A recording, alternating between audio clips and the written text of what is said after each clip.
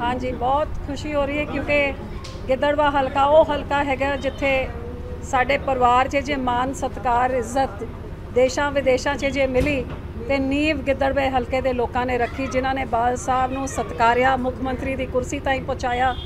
ਪੰਜ ਵਾਰੀ ਐਮਐਲਏ ਬਣਾ ਕੇ ਕਈ ਵਾਰੀ ਮੁੱਖ ਮੰਤਰੀ ਬਣਾਇਆ ਤੇ ਬਾਲ ਸਾਹਿਬ ਦੇ ਕੰਮਾਂ ਦੀ ਖ- ਬਦੌਲਤ ਅੱਜ ਸਾਡੇ ਵਰਗੇ ਵੀ ਅੱਜ ਐਮਪੀ ਤੇ ਅ, ਬਣੀ ਬੈਠੇ ਆ ਮੰਤਰੀ ਬਣੇ ਆ ਸਭ ਬਾਲ ਸਾਹਿਬ ਦੀ ਦੇਣ ਤੇ ਨੀਵ ਇਸ ਹਲਕੇ ਨੇ ਰੱਖੀ। ਅੱਜ ਜਿੱਥੇ ਮੈਨੂੰ ਇੱਕ ਗੱਲ ਦਾ ਦੁੱਖ ਜ਼ਰੂਰ ਹੈ ਕਿ ਜਿਨ੍ਹਾਂ ਨੂੰ ਬਾਲ ਸਾਹਿਬ ਨੇ ਬਣਾਇਆ, ਉਹਨਾਂ ਨੇ ਪਾਰਟੀ ਨੂੰ ਧੋਖਾ ਦੇ ਕੇ, ਪਤਾ ਨਹੀਂ ਕੀ ਗੱਲ ਹੈ, ਜਿਹਨੂੰ ਵੀ ਬਾਲ ਸਾਹਿਬ ਇਸ ਇਲਾਕੇ ਦੀ ਸੇਵਾ ਦਿੰਦੇ ਸੀ, ਉਹ ਪਾਰਟੀ ਦੇ ਨਾਲ ਧੋਖਾ ਕਰਦੇ ਸੀ। ਲੇਕਿਨ ਇੱਕ ਤਰੀਕੇ ਦੇ ਨਾਲ ਮੈਨੂੰ ਖੁਸ਼ੀ ਵੀ ਹੈ ਕਿ ਉਹਨਾਂ ਦੇ ਧੋਖੇ ਦੇ ਕਾਰਨ ਅੱਜ ਮੈਨੂੰ ਆਪ ਇਸ ਹਲਕੇ ਵਿੱਚ ਆ ਕੇ, ਅੱਜ ਇਸ ਹਲਕੇ ਦੀ, ਇਸ ਹਲਕੇ ਦੇ ਲੋਕਾਂ ਦੀ ਇਹਨਾਂ ਦੇ ਪਿੰਡਾਂ ਦੀ ਇਹਨਾਂ ਦੇ ਸ਼ਹਿਰਾਂ ਦੀ ਮੈਂ ਉਮੀਦ ਕਰ ਪਰਮਾਤਮਾ ਦੇ ਚਰਨਾਂ 'ਚ ਅਰਦਾਸ ਕਰਦੀ ਹਾਂ ਕਿ ਸਾਡੇ ਪਰਿਵਾਰ ਨੂੰ ਉਹ ਸੇਵਾ ਕਰਨ ਦਾ ਮੌਕਾ ਮਿਲੇ ਜਿਹੜੀ ਲੋਕਾਂ ਨੇ ਸੇਵਾ ਕਰਕੇ ਬਾਲ ਸਾਹਿਬ ਦਾ ਸਾਥ ਦਿੱਤਾ ਅੱਜ ਅਸੀਂ ਵੀ ਉਸ ਸੇਵਾ ਦਾ ਮੁੱਲ ਮੋੜਨ ਜੋਗੇ ਲੋਕੀ ਸਾਨੂੰ ਮੌਕਾ ਦੇ ਤਾਂ ਪਰਮਾਤਮਾ ਸਾਨੂੰ ਮੌਕਾ ਦੇ ਲੱਗਦਾ 95 ਤੋਂ ਆਉਂਗੇ ਬਿਲਕੁਲ ਲੱਗਦਾ ਹੈਗਾ ਜਿਸ ਤਰੀਕੇ ਦੇ ਨਾਲ ਲੋਕਾਂ ਦਾ ਸਾਥ ਹੈਗਾ ਅੱਜ ਲੋੜ ਹੈ ਕਿਉਂਕਿ ਪੰਜਾਬ ਦੇ ਜਿਹੋ ਜਿਹੇ ਹਾਲਾਤ ਪੈਦਾ ਹੋ ਗਏ ਨੇ ਹਰ ਵਰਗ ਦੁਖੀ ਹੈ। ਹਰ ਵਰਗ ਧਰਨੇ 'ਚ ਬੈਠਾ ਹੈ। ਆ ਦੋਵੇਂ ਭਾਈਵਾਲ ਪਾਰਟੀਆਂ, ਆਮ ਆਦਮੀ ਤੇ ਕਾਂਗਰਸ ਪਾਰਟੀ ਨੇ ਝੂਠਾ ਪੰਡੀ ਪ੍ਰਚਾਰ ਕਰਕੇ ਬਾਦਲ ਸਾਹਿਬ ਤੇ ਪੰਜਾਬ ਦੀ ਖੇਤਰੀ ਪਾਰਟੀ ਨੂੰ ਝੂਠੇ ਇਲਜ਼ਾਮ ਲਾ ਕੇ ਬਦਨਾਮ ਕੀਤਾ। ਅੱਜ ਉਹ ਝੂਠ ਲੋਕਾਂ ਦੇ ਸਾਹਮਣੇ ਹੈ ਤੇ ਇਹਨਾਂ 7 ਸਾਲਾਂ 'ਚ ਕੱਲੇ ਖਜ਼ਾਨੇ ਨੂੰ ਲੁੱਟਿਆ ਹੈ, ਲੋਕਾਂ ਨੂੰ ਠੱਗਿਆ ਹੈ। ਅੱਜ ਹਾਲਾਤ ਆ ਹੋ ਰਹੇ ਨੇ ਕਿ ਬੇਰੋਜ਼ਗਾਰੀ ਦਾ, ਨਸ਼ਿਆਂ ਦਾ ਤੇ ਗੈਂਗਸਟਰਾਂ ਦਾ ਰਾਜ ਪੰਜਾਬ 'ਚ ਚੱਲ ਰਿਹਾ ਹੈਗਾ ਤੇ ਸਰਕਾਰ ਨਾਮ ਦੀ ਕੋਈ ਚੀਜ਼ ਨਹੀਂ, ਲੋਕੀ ਲਾਵਾਰੇ ਸਭ। ਗਿੱਦੜਵੇ ਸ਼ਹਿਰ ਦੀ ਗੱਲ ਦੇਖ ਲਓ। ਸੀਵਰ ਦਾ ਹੱਲ ਦੇਖੋ, ਲੋਕੀ ਅੱਜ ਮੈਂ ਇੱਕ ਪਹਿਲੇ ਦਿਨ ਆਈ ਹਾਂ ਤੇ ਜਿੱਥੇ ਵੀ ਮੈਂ ਜਾ ਰਹੀ ਹਾਂ ਕਿ ਪੀਣ ਦੇ ਪਾਣੀ ਦੇ ਨਾਲ ਸੀਵਰ ਦਾ ਪਾਣੀ ਮਿਕਸ ਹੋ ਕੇ ਲੋਕਾਂ ਦੇ ਘਰਾਂ 'ਚ ਆ ਰਿਹਾ ਹੈ। ਤੇ ਜੇ ਇੱਕ ਸਰਕਾਰ 2.5-3 ਸਾਲ ਤੋਂ ਬੈਠੀ ਹੈ, ਜਿਹੜਾ ਰਾਜਾ ਵੜਿੰਗ ਮੰਤਰੀ ਬਣ ਕੇ 5 ਸਾਲ ਸਰਕਾਰ ਹੰਢਾ ਗਿਆ ਜੇ ਪਾਣੀ ਨਹੀਂ ਸਾਫ਼ ਕਰ ਸਕਿਆ ਤੇ ਆਪਾਂ ਹੋਰ ਕੀ ਉਮੀਦ ਕਰਦੇ ਆ 7 ਸਾਲਾਂ 'ਚ ਮੈਨੂੰ ਦੱਸ ਦਿਓ ਕਾਂਗਰਸ ਤੇ ਆਮ ਆਦਮੀ ਨੇ ਗਿੱਦੜਵੇ ਦਾ ਕੀ ਸਵਾਰਿਆ? ਕੋਈ ਇੱਥੇ ਨਿਸ਼ਾਨੀ ਜੇ ਦੇਖੋ ਵਿਕਾਸ ਦੀ ਬਾਦਲ ਸਾਹਿਬ ਦੀ ਦਿੱਤੀ ਹੋਈ ਹੈ। ਜੇ ਇੱਥੇ ਹਰੇ ਭਰੇ ਖੇਤ ਨੇ ਜਿੱਥੇ ਟਿੱਬੇ ਹੁੰਦੇ ਸੀ ਜੇ ਸੜਕ ਹੈ ਜੇ ਫੋਕਲ ਪੁਆਇੰਟ ਹੈ ਜੇ ਸ਼ਹਿਰ ਨੂੰ ਮਸਾ ਬਾਦਲ ਸਾਹਿਬ ਦੀ ਦੇਣ ਹੈ। ਇੱਕ ਵਾਰ ਫੇਰ ਬਾਲ ਸਾਹਿਬ ਦੇ ਵਾਰਿਸ ਨੂੰ ਮੌਕਾ ਦੇਣਗੇ ਲੋਕੀ ਤੇ ਇੱਥੇ ਦੀ ਨੁਹਾਰ ਬਦਲਾਂਗੇ ਜਿਵੇਂ ਬਠਿੰਡੇ ਦੀ ਨੁਹਾਰ ਬਦਲੀ ਇੱਥੇ ਤੇ ਲੰਬੀ ਦੀ ਵੀ।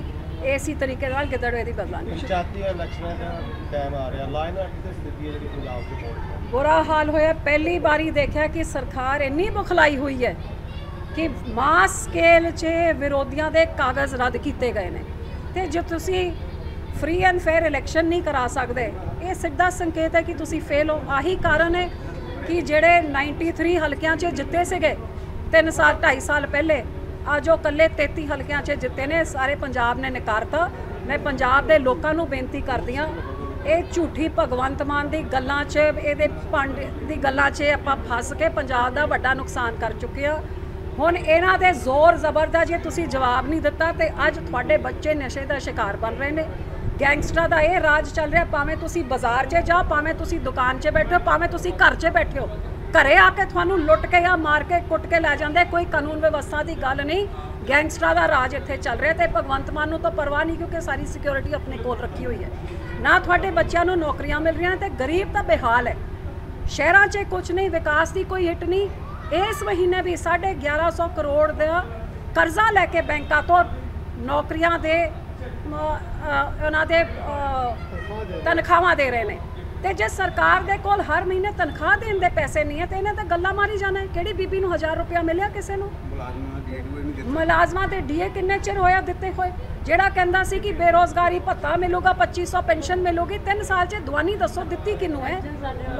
ਆ ਬੀਬੀ ਨੂੰ ਪੁੱਛੋ ਜਿਨ੍ਹਾਂ ਨੂੰ 2500 ਪੈਨਸ਼ਨ ਮਿਲਣੀ ਸੀ। ਐਡਵਰਟਾਈਜ਼ਮੈਂਟ ਤੇ ਵੀ ਲਾਏ ਜਾ ਰਹੇ ਪੈਸੇ ਦਿਖਾਏ ਜਾ ਰਹੇ ਨਹੀਂ ਹਾਂ ਮੈਨੂੰ ਸਭ ਤੋਂ ਖੁਸ਼ੀ ਹੈ ਇਸ ਗੱਲ ਦੀ ਕਿ ਹੁਣ ਅਦਾਲਤਾਂ ਨੇ ਕਿਹਾ ਹੈ ਕਿ ਜੇ ਸਰਕਾਰ ਨੇ ਐਡਵਰਟਾਈਜ਼ਮੈਂਟ 'ਚ ਜਿੰਨੇ ਪੈਸੇ ਖਰਚੇ ਉਹਦਾ ਵੇਰਵਾ ਦਿੱਤਾ ਜਾਏ ਤਾਂ ਲੋਕਾਂ ਦੀ ਅੱਖਾਂ ਖੁੱਲ ਜਾਣਗੀਆਂ ਕਿ ਜਿਹੜੇ ਖਜ਼ਾਨੇ ਵਿੱਚੋਂ ਬਾਲ ਸਾਹਿਬ ਨੇ ਥਰਮਲ ਪਲਾਂਟ ਬਣਾਏ ਸੀ, ਸੜਕਾਂ ਦਾ ਜਾਲ ਬੁਣਿਆ ਸੀ, ਆਟੇ ਦਾਲ ਦੇ ਕਾਰਡ ਦਿੱਤੇ ਸੀ ਜਿਹੜੇ ਇੰਨੇ ਵੱਡੇ ਵਿਕਾਸ ਤੇ ਮੈਰੀਟੋਰੀਅਸ ਸਕੂਲ ਕੀ ਕੁਝ ਨਹੀਂ ਕੀਤਾ, ਉਹ ਸਾਰੇ ਪੈਸੇ ਲੁੱਟ ਕੇ ਕੇਜਰੀਵਾਲ ਨੂੰ ਚਮਕਾ ਕੇ ਨੈਸ਼ਨਲ ਪਾਰਟੀ ਬਣਾਉਣ ਵਾਸਤੇ ਇਹਨੇ ਲੁਟਾਤਾ।